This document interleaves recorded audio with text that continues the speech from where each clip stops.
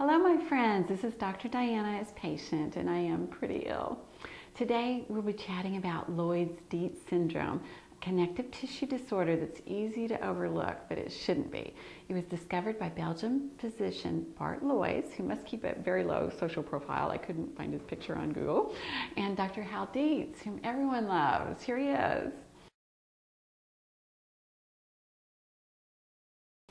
Dr. Dietz is making tremendous progress with vascular EDS, and our entire family has met with him because we had so many signs of Loeys-Dietz syndrome. I wanted us to see the man to rule it out. Now, Loeys-Dietz syndrome is an autosomal dominant disorder. It's not unlike Marfan syndrome, but with a little twist. Now, in Marfan syndrome, everyone worries about rupture of the aortic root or of the aorta, and they watch the size of their aortic roots very carefully.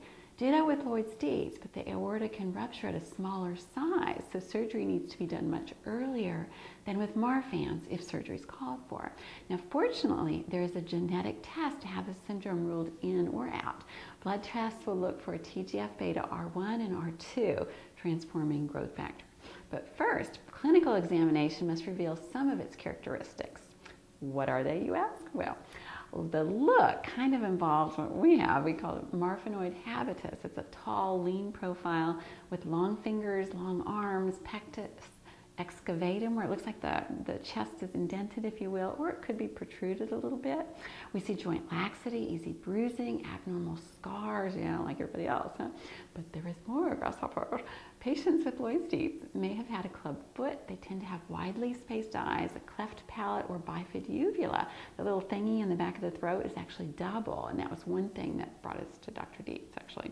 Um, patients may have dural ectasia, scoliosis, congenital heart problems, translucent velvety skin, Chiari malformations, and as I've mentioned, aortic and arterial aneurysms and or dissections with tortuosity of the arteries. Now at NIH, they're using losartan to slow or halt the formation of aortic aneurysms in Marfan's and Loeys-Dietz syndrome. Losartan is used to treat high blood pressure. It modifies the renin-angiotensin-aldosterone system. That is to say, it regulates our fluid balance and can be used for heart failure and kidney failure. Losartan is an angiotensin 2 receptor antagonist, so it blocks TGF-beta. How great is that?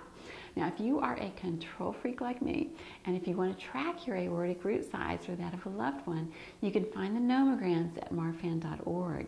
These charts are used to detect aortic dilation. You'll need to be able to calculate a body surface area and the size of the sinus of Valsalva. You get that from the echoes.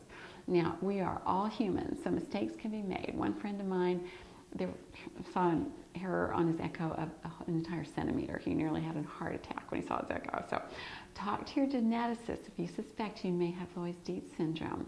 And consider going straight to the man, Dr. Hal Dietz, as we did. I thank him and all of the researchers working to help us. Together, we're going to change our world, one brain cell at a time. Channel hugs to you all.